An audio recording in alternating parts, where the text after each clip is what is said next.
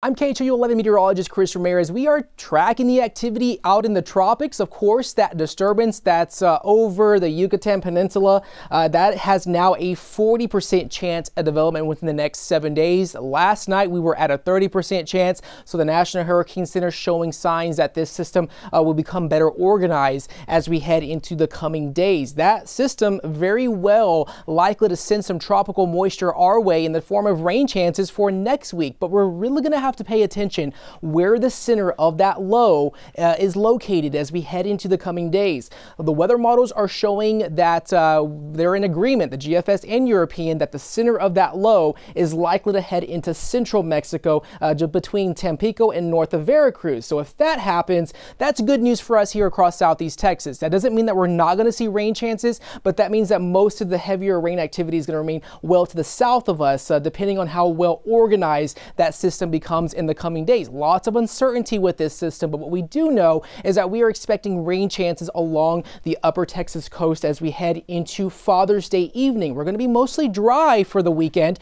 but Sunday night is when we're expecting those showers to be at play, especially for our coastal area. So isolated showers and storms for Sunday becoming more widespread going from Monday through Wednesday as we head into much of next week. So it's going to be long lasting. We could see some downpours at times, but just keep in mind that uh, depending on how organized that system becomes well south of us, that could suck up most of the moisture and send most of the rain chances south of us as we head into the coming days. But like I said, lots of uncertainty. We're really not going to get a better understanding of this system until we see that organization of that low uh, over open water. So looking at the expected rain totals, up to one to two inches of rain from Beaumont to Galveston along the coastal areas. We very well could see an inch to two inches of rain. It's not out of the question that we could see even four inches of rain in some locations. So something that we're going to have to keep an eye on, and that's definitely going to be the cause of our rainmaker as we head into next week. So for your seven day forecast, we're going to be mostly dry, just hot in the next three days with those high temps topping out in the mid to upper 90s, overnight lows in the 70s.